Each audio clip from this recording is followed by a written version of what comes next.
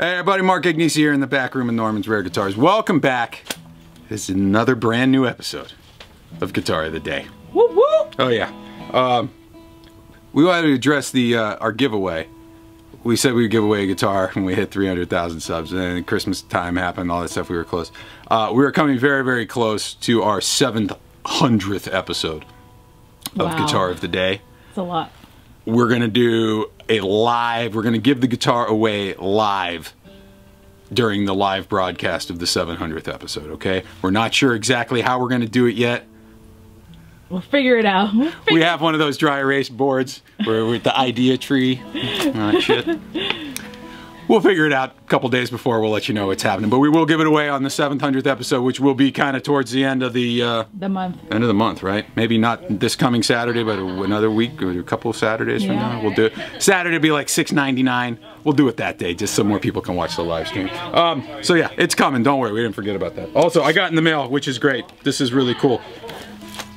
This was sent to me. Copy of this book uh, was sent to me by Chip Dayton, the guy who took all of the pictures of the Ramones. Look at this.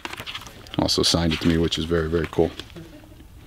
I love the Ramones. He said he said something. He saw me wearing my Ramones shirt, uh, and uh, love your playing "Sunshine of Your Love" on 330. I had that 335 yesterday. I could have done that song for you, Chip. Sorry, buddy. Did White Room though, but uh, man, really really cool stuff. I didn't find the Ramones until a little later in life. I was more of a heavy metal kid, but in my late teen years, I kind of finally discovered the Ramones. As you can see, I, I saw Johnny Ramone and then kind of never changed.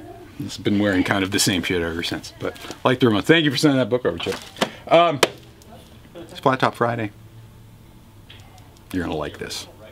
Serious Epi Gibby goals right now. Check this out. Epi Gibby goals. Come on back. From 1961. Original FT79N Epiphone Texan. Original blonde finish. Short squatty headstock script logo. Epi Gibby goals. Hashtag Epi Gibby goals. Paul McCartney, anybody? Yesterday? Ed Sullivan? Am I making any sense? Does anybody know what I'm talking about? Mm-hmm. You don't know. yeah, McCartney played one of these on uh, on Sullivan when they did yesterday. Now his was actually a little bit later than this. This is hip. This is early. Uh, still have the the short squatty headstock with the script logo.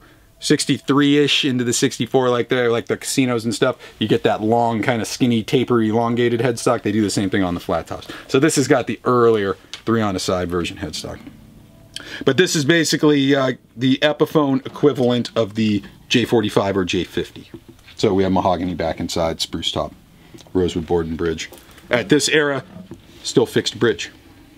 You will start seeing adjustable saddle bridges on these, just like you see on the J45s and J50s from that era once you hit around the right around the same time as that headstock changes. So this is still more like a 50s style with the uh, fixed bridge. Other difference between this and the uh, Gibson J45, J50, scale length. The Epiphone guitars pretty much across the board are all 25 and a half inch scale. So we're talking from nut to saddle that distance, 25 and a half inches, just like Fender scale.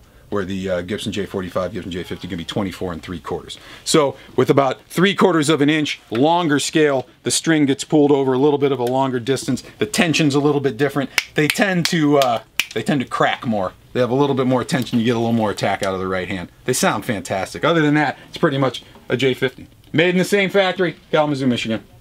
Same people, same woods. From 58 to 70, guys, Epiphone and Gibson are the same. For some reason, a lot of the Epiphone stuff ended up in the British invasion artisans, where the Gibson stuff kind of stayed here. But it's good stuff, guys. Why don't we go out to the couch? It's a freaking Beatle guitar. You know, you guys like old Beatles songs. I tried to learn a couple of them. You'll point out the flaws, I'm sure. Let's go tickle this son of a bitch. We'll strum it with a pick. See what it can do.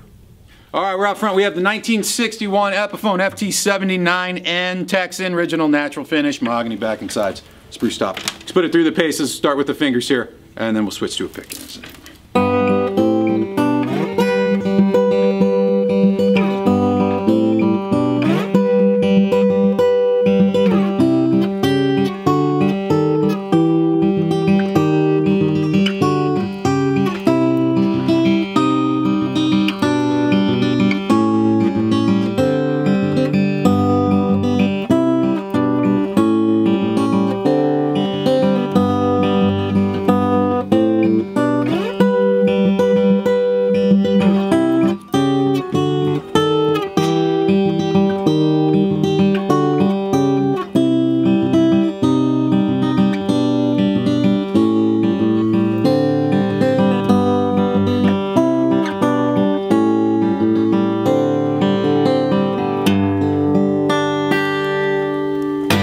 pick up a flat pick, hit this thing a little bit harder with the right hand, see how it responds to a little more volume here.